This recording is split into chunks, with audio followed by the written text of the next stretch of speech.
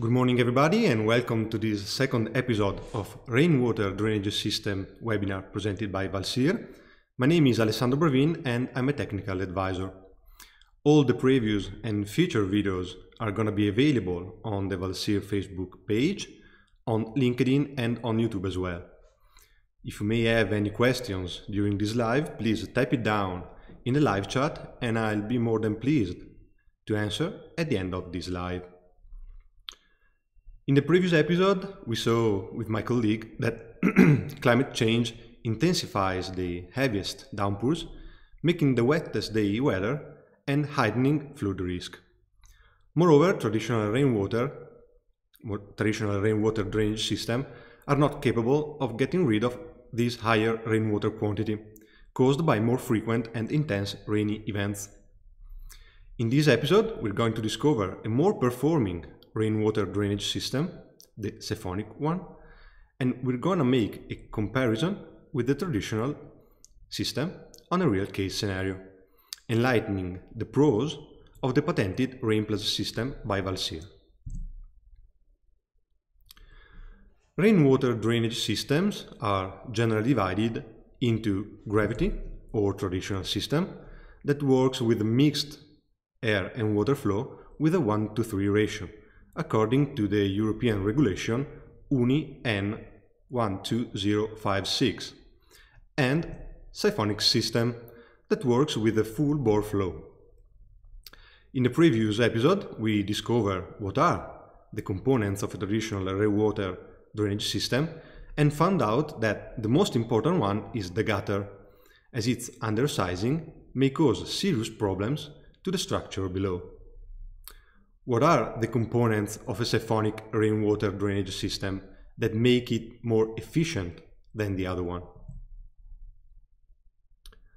The components of the Valsir siphonic system are the roof outlets, pipes and fittings, and the clips for fixing them to the structures.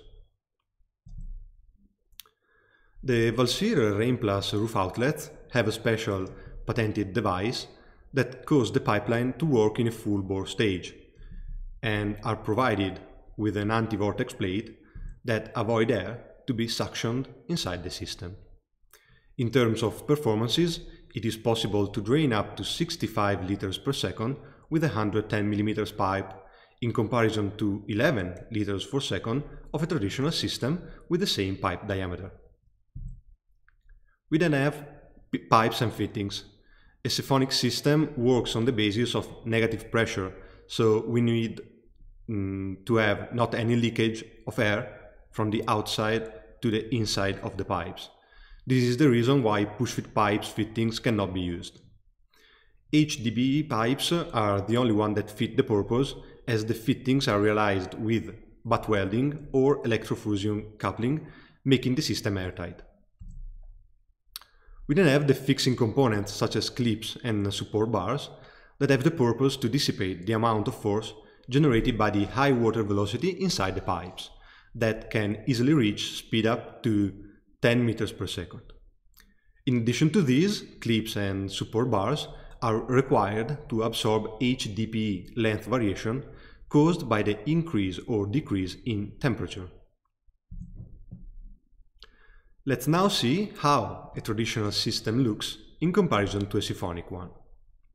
A conventional roof drainage system is made of standard outlets. We then have uh, a stack for each of these outlets and it has to be uh, at least as high as the building. All of these stacks are connected to a collector that most of the time is buried inside the building and it has to have a slope. One of the weak points about the traditional rainwater drainage system is that pipes work with a 33% filling ratio for the stacks and 70% filling ratio for the collectors according to the European regulation and a slope is required for, for the horizontal parts. Let's now see the same building with the siphonic drainage system. We're gonna have fewer roof outlets that are provided with anti-vortex plate, horizontal collecting pipe installed hanging from the ceiling, a number of downpipe that are not related to the numbers of roof outlets, and in this case we only have one single discharge downpipe, for each circuit, and it, it, it uh, can be placed uh, on the perimeter of the building. The collectors have no slope, and the system works with the full bore flow. Let's now do some math on a real case scenario and compare the traditional and the siphonic system. We have here an industrial building with a roof area of 2500 square meters and we're considering a rainfall intensity of 108 mm per hour. We're gonna have a flow rate of 18.7 liters per second for the external roof pitches and 37.5 liters per second for the internal ones. Starting with the conventional system design, 14 roof outlets are needed. That means 14 downpipes, one for each uh, roof outlet, with a 90 millimeters diameter pipe. Side collectors will have a diameter from 110 to 200 millimeter, and the center collector has a diameter from 125 to 250. The system is composed in total of 270 meters of pipe and 75 fittings. How is the siphonic system gonna be like with the same rain conditions and starting datas? We're gonna have only 9 Rainplus roof outlets, each one with a potential capacity of 65 liters per second. You may then ask why you didn't just place one roof outlet for every pitch. Well, first of all, they will need specific pitch slope that are difficult to realize. Then having more outlets help us to keep the water high as low as possible and to easily drain uh, rainwater of meteor outburst. We then have one downpipe 160 millimeter. The side collectors are going to be from 90 to 110 millimeters diameter and the central one is going to be from 110 to 125 millimeters diameter.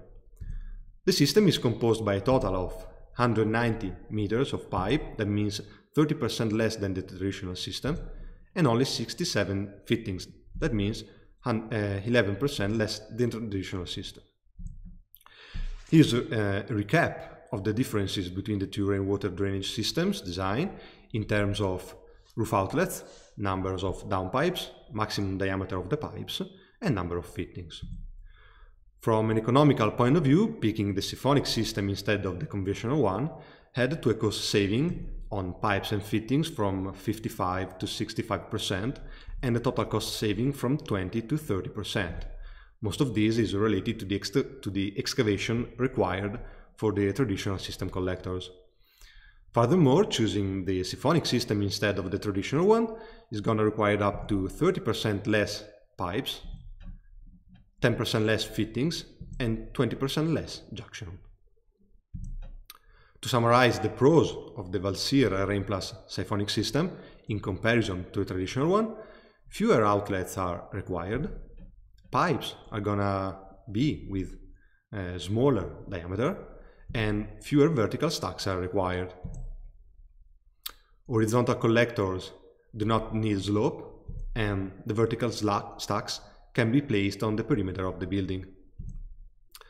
Siphonic system, as we saw before, has better performances because the pipes work in a full bore condition that leads to a high drainage speed. That means that Valsir Rainplus is a self-cleaning system. Last but not least, Rainplus system simplifies water collection because we can place the system end as close as possible to the collecting tank. And it is the collecting system and the reusage of rainwater that are gonna be the next episode topic, the last one of this series about drainage system.